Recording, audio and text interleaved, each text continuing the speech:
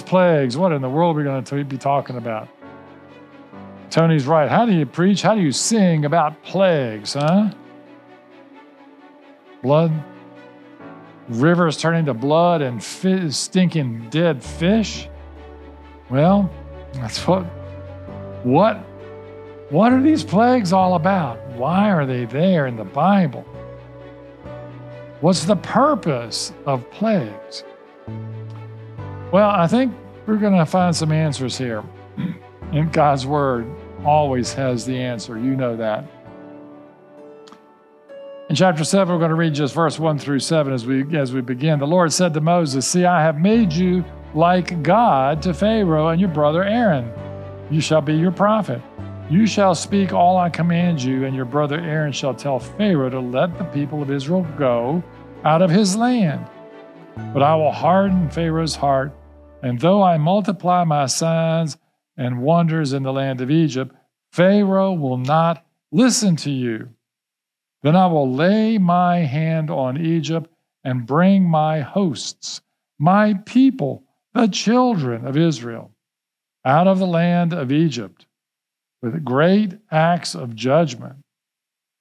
The Egyptians shall know that I am the Lord when I stretch out my hand against Egypt and bring out the people of Israel from among them. Moses and Aaron did so. They did just as the Lord commanded them. Now, Moses was 83 and Aaron 83. Um, Moses was 80 years and Aaron was 83 years old when they spoke to Pharaoh. If they were both 83, they'd have been twins. Sorry about that. So, what's going on here? We are at the beginning of plagues, plagues that are going to come to Egypt because the Pharaoh's heart has been hardened by himself to start with, and then God hardened it further. So he's not going to listen.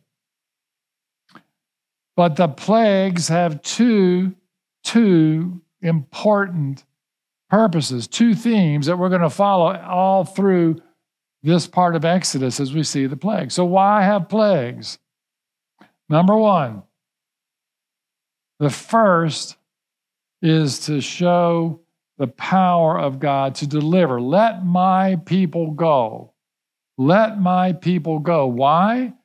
so they can worship me. And you remember that the same word in Hebrew we talked about last week that they will bow down to God, worship God. They were bowing down to Pharaoh now. I want them out of Pharaoh's land where they're bowing down to him. I want them bowing down to me. I want to deliver. So the first theme is that God is delivering his people so that they may worship him and have that relationship with him. The second purpose, through his mighty works, and judgment and plagues are part of God's mighty works, along with other things that we'll see in a minute. But the second purpose, the second theme, is right there that the Egyptians shall know that I am the Lord. Through this chapter, this, phrase is repeated that you will know, the Israelites will know that I am the Lord, that everyone, the people will know that I am the Lord. So these the two purposes are to help us to be delivered from where we're worshiping. We're going to see that to where we'll be worshiping God, so, so that they may know. And you remember that word know in Hebrew eh, that eh, means something a lot more than just know the name of God. Know is used for a relationship, intimate relationship between man and woman, their wives. The husband will know their wife. That means they have an intimate relationship. And that's what God wants with us. That knowing means an intimate, personal relationship with God. And that is what He wants that you may know, that they may know that I am God. But God's hardened the heart of Pharaoh. Now, he said Moses will be like God to Aaron, and then Aaron will speak to Pharaoh. But what this shows that God is in control of everything. And his miraculous signs and wonders in Egypt, one of the purposes is that they will know that he is God. There's an interesting, Jesus spoke these almost exact same words. You remember in John 9 about the blind man. He was blind since birth, and Jesus had passed by. As he passed by, he saw a man blind from birth, and his disciples asked this question. You remember this Rabbi, who sinned, this man or his parents, that he was born blind? You remember that, right? He's blind, something's wrong with him. Who sinned?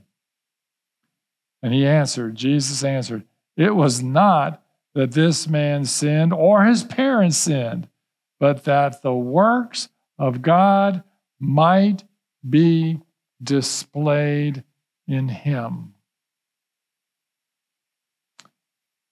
Jesus, right there, is repeating exactly what the Old Testament is teaching us now.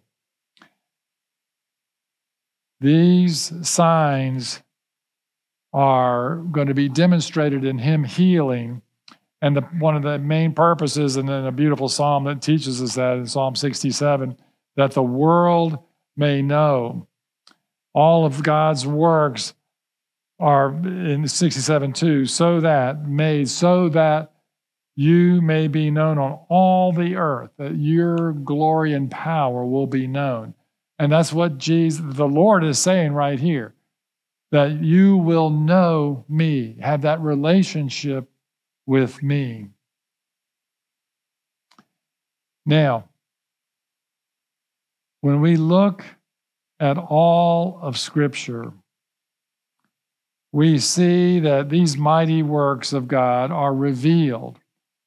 And we don't need to fully understand all this because there's really, and we could spend hours thinking about this. Just, just put this in your mind and think about it. And I know a lot of you are thinkers in this room.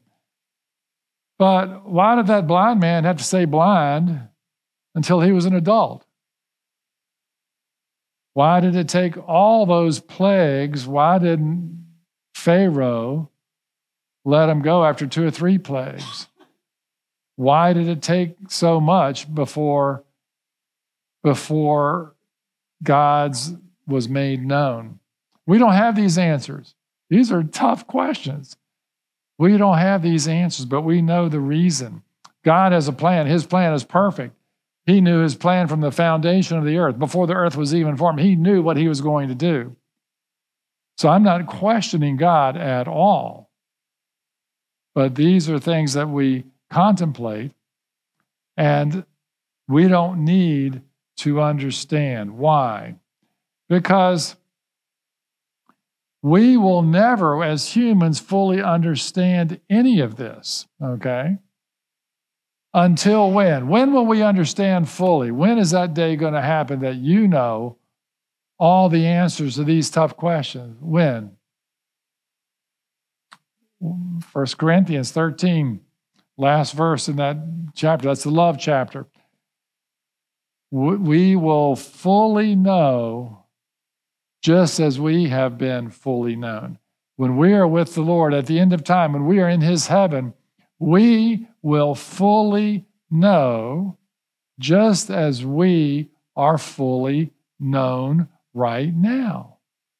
God knows everything about us. And when we're with him, all these questions that you have, that I may have, they're going to be answered. But not until then. Our little pea brains as humans on this earth, we can't comprehend the glory of God completely. And so we will always have questions we don't understand. But we uh, need to understand this there is a purpose. These two purposes one is to free us from what we're worshiping so that we can worship God and the second is through these mighty acts, all through Scripture. In Exodus, we're going to see tons of them. The sea is going to part. They're going to go up to Sinai, see all the lightning, the Ten Commandments. They're going to see a rock burst forth with water. You ever seen that? We're going to see birds falling out of the air. I love seeing that when I'm hunting. That's fun. Sorry, that may offend some of you, but but they didn't have to hunt. They were just in the desert. Bam, birds flopping all down. Quail. That's good eating, brother. And they're falling out of the sky. Manna's falling out of the sky. They're going to see mighty acts of God. But the mightiest act, all this points to the greatest act of Jesus being born as that baby in the manger, coming to us as 100% God, 100% man, coming, God in us, and his death and resurrection. That is the ultimate revelation. And even, think about this, even in that, don't you see? When Jesus died on the cross, there's judgment. Jesus bore our sins. There's judgment. He had to die. And that we still shake our head. And then that's why all these questions will be answered. But he had to die. There was judgment so that we can have grace. There's judgment that Jesus went to the cross and he paid the price. So he freed us. We don't bow down to Pharaohs. Pharaoh running Giles County right now. Who do we bow down to now?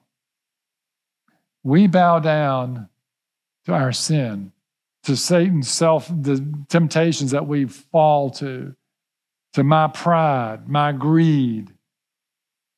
Jesus wants to his judgment, that wrath that we feel, that guilt that we feel. As we talked a few weeks ago about the wrath of God that remains on us that don't love God. That's there even though it feels painful and it hurts. It's a loving act to draw us. That judgment draws us to Jesus and his grace and his deliverance so that the world may know as we come to him in faith, we can share that with other people. And we worship God now because we've been brought out of that judgment into that right relationship with Jesus. God is righteous and holy and all powerful. His judgments are perfect, even though we may not understand them completely because they lead to his deliverance of us from the bondage of what we were worshiping, the deliverance of us, so that we can worship him and that the world may know that he is God. This next little section of verses in 7 through 13, very interesting. They went to Pharaoh and said, Pharaoh said, Prove yourself by working a miracle. Then you shall say to Aaron, Take your staff, cast it down before Pharaoh, that it may become a serpent. So Moses and Aaron went to Pharaoh and did just as the Lord commanded. Aaron cast down his staff before Pharaoh and the servants, and it became a serpent. And listen to this. Then Pharaoh summoned his wise men and the sorcerers and the magicians of Egypt, and they did the same thing by their secret arts. Same thing. For each man cast down his staff, and they became servants. But, but, whenever there's a but in Scripture, focus. But Aaron's staff swallowed up their staffs. But still, Pharaoh's heart was hardened, and he would not listen as the Lord had said. So, kind of the warm up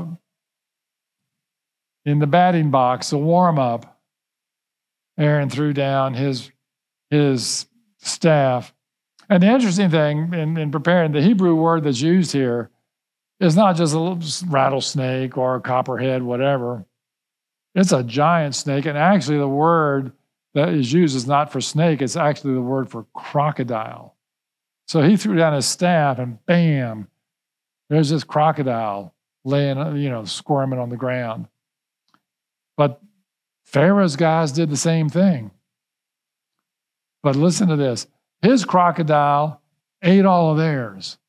And so their powerful staffs were gone, and then his turned back into Aaron's staff. So Aaron, they conquered all of the all of the alligators, the crocodiles that these magicians threw down.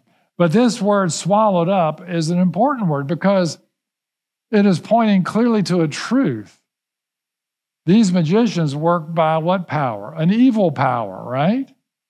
An evil power. And they had power to do some things, but the power of God overcame and swallowed up those evil crocodiles from those magicians and sorcerers.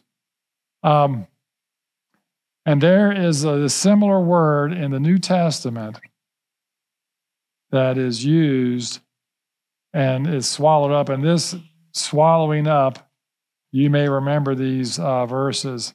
I'm going to read um, 1 Corinthians 15 53 through 56. Um, for this perishable body, you may remember these at, at a funeral even, must be put, must put on the imperishable, and this mortal body must put on immortality.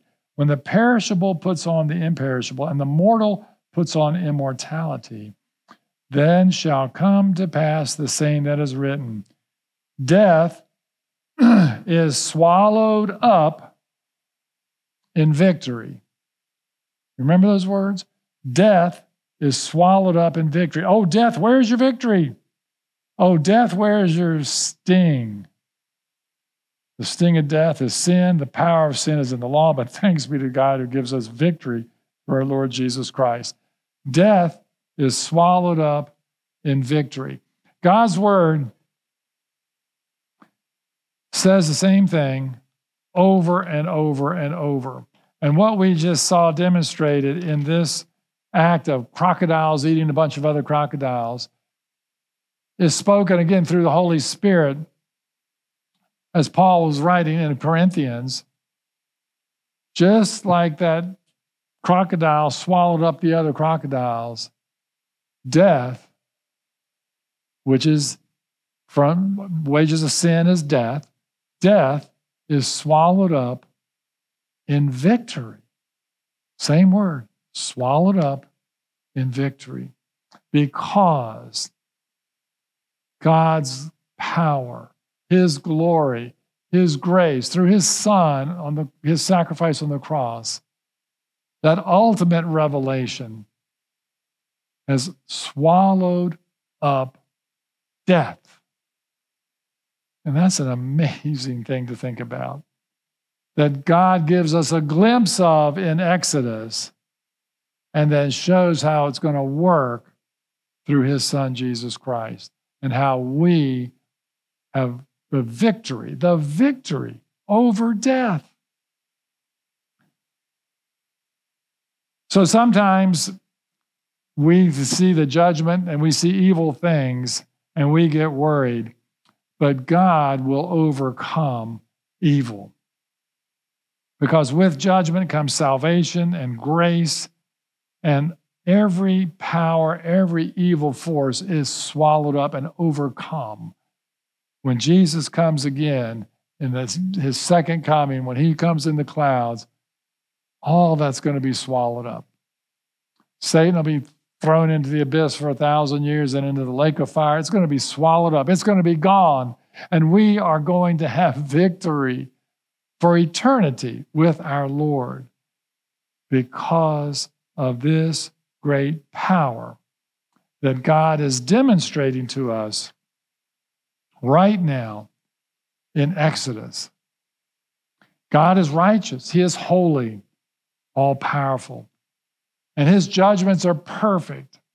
They lead us to deliverance and to worship him so that the world may know that he is God and God's power will overcome Satan and overcomes death in our lives this very minute through the cross of Jesus Christ.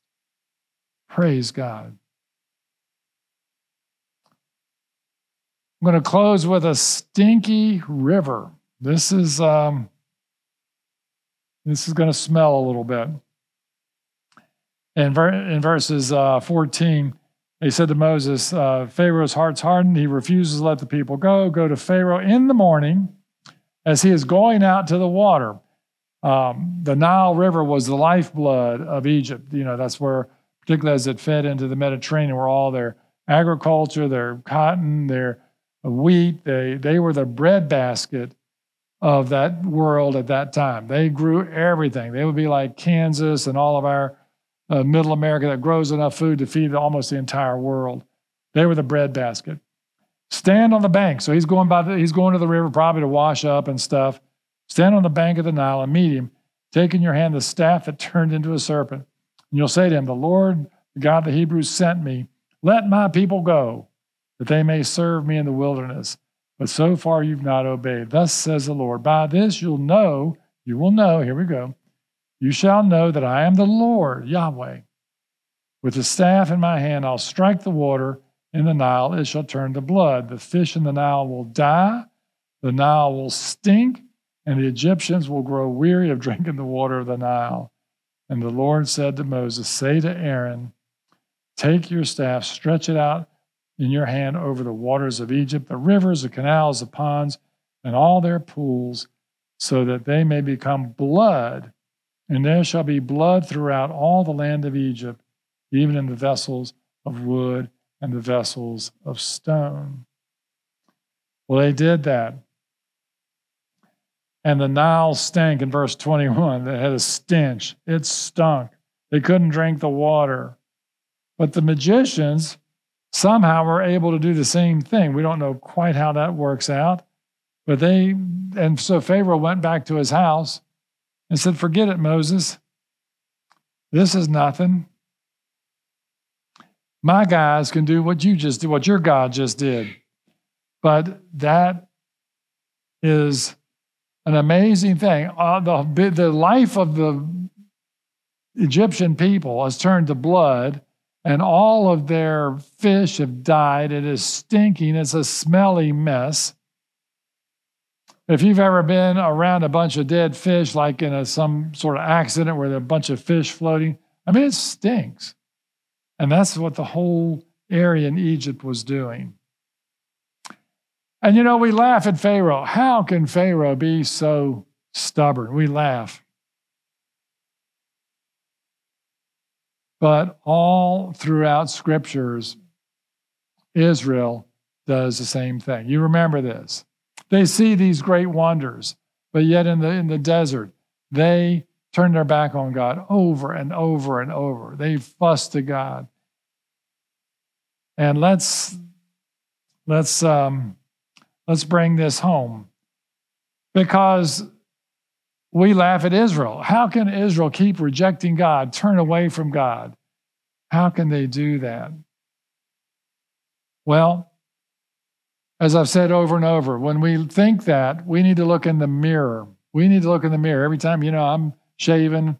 Um, ladies, you know, you're kind of doing your hair, putting on stuff. When you look in that mirror, every time you look in that mirror, you're going to see somebody who does the same thing as Pharaoh, who does the same thing as Israel, because we put so many other things in front of God. We put money. We put traveling. We put uh, sports. We put football games. We put whatever. We put lots and lots of things before God. Then all of a sudden, our lives do what? What do our lives do? They start to stink. You know, I mean, you may not smell it, but you think, my life is just not going well now. It stinks. And that's when we need to look in that mirror. Okay, what happened? What happened in my life? Lord, forgive me. I have turned away from you. I've been following something else and I've ignored you, and my life is stinking now just like that stinky river. And when we repent and turn back to Him instantly, He restores us, He forgives us, He gives us that right relationship back in our lives. I've told you, and it's the truth, I'm the chief of sinners all through my life. I've had to look in that mirror and say, boy, my life is stinking right now. I'll never forget one time, and unfortunately, my oldest daughter is here to hear this, but in my 40s, some I don't remember. You know, I'm I'm an old guy, so time just I can't remember it all. I was somewhere in the middle of my life, and I thought, and I was greedy. You know, I, money was kind of I was investing. I thought I was really a, a great investor and so so smart. And there was um, when I look back, when I look back, you know, I shake my head at Israel. I look back and shake my head at myself. So I there was some investment guy I was following, and there was a a diamond mine in Africa. I kid you not, a diamond mine in Africa that was supposed to have a mother lode. Mm-hmm. Seriously, think about that. And I invested in that and I lost almost all of my kids' college funds. Brilliant. And I looked in the mirror and I said, Lord, I stink. And he said, Yes, you do, Bob. You stink. You're stinking up this place.